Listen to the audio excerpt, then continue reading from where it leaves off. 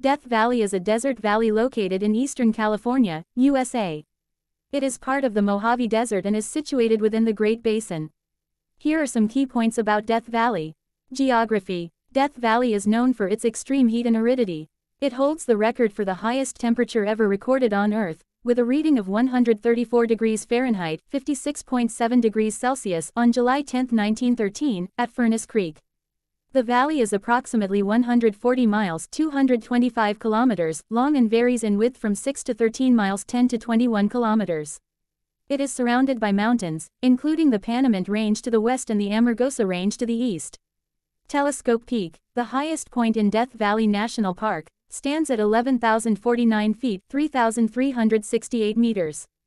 Death Valley National Park Death Valley National Park was established in 1994 and covers an area of about 3.4 million acres 1.4 million hectares. The park offers a diverse range of landscapes, including salt flats, sand dunes, badlands, canyons, and mountains. Notable landmarks within the park include Badwater Basin, the lowest point in North America at 282 feet 86 meters below sea level, and Zabriskie Point, a popular viewpoint overlooking eroded badlands. Wildlife and plants. Despite its harsh conditions, Death Valley is home to a surprising variety of plant and animal species. Some of the common plants found in the area are creosote bush, desert holly, and Joshua trees. Animal species in the park include desert bighorn sheep, coyotes, kangaroo rats, kit foxes, and various reptiles and bird species.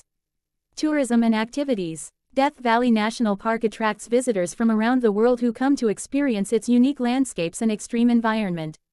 Popular activities in the park include scenic drives, hiking, camping, stargazing. The park is a designated international dark sky park, and visiting historical sites such as Scotty's Castle and the Harmony Borax Works. It's important for visitors to be well prepared when visiting Death Valley, as the extreme heat and remote location can present challenges. It's recommended to bring plenty of water, sunscreen, and suitable clothing, and to check weather conditions before setting out. Please note that the information provided is accurate as of my knowledge cutoff in September 2021, and there may have been some changes or updates since then.